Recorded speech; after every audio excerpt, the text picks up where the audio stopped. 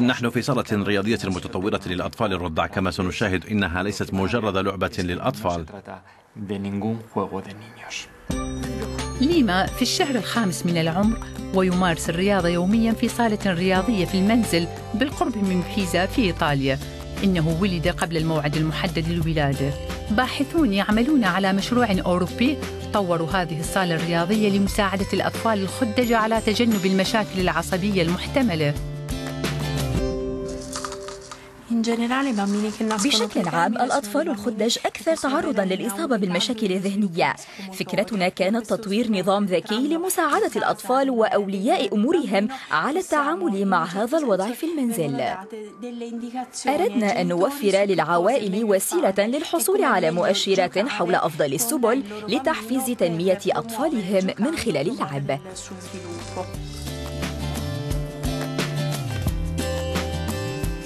ليما يمارس الرياضة بين 20 إلى 30 دقيقة يومياً. إنه دليل على التطور الطبيعي ويبدو أنه يستمتع بهذه الرياضة. نحن محظوظون. لا توجد مشكلة خاصة تتعلق بنمو لما على أي حال هذا النموذج يساعده على النمو بطريقة جيدة من خلال اللعب.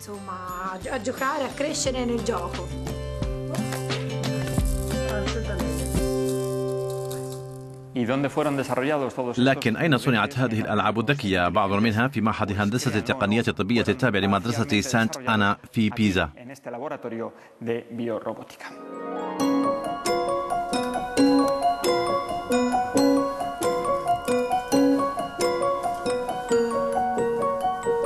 هنا مهندسو الهندسة الطبية الحيوية أنتجوا واختبروا بعض الأنظمة المثبتة في ملعب إعادة تأهيل الذكاء هذا.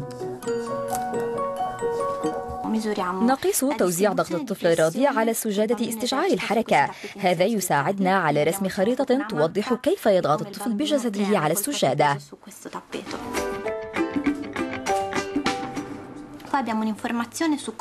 نحصل أيضا على معلومات عن كيفية الحركة بفضل هذه المجسات التي وضعت حول جسمه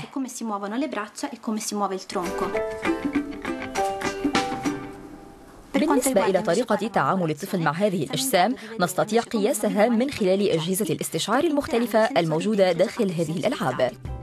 هناك بحوث مكملة في بيئة سريرية أيضا حيث يتم تحفيز الأطفال بصريا للحصول على معلومات عن التركيز والحركة. الهدف النهائي هو تطوير تقنيات أكثر كفاءة للتأهيل.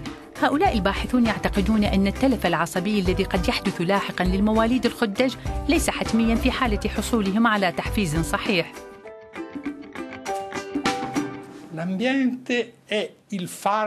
البيئة هي أفضل دواء للدماغ خاصة خلال الأسابيع والأشهر الأولى من حياة الطفل.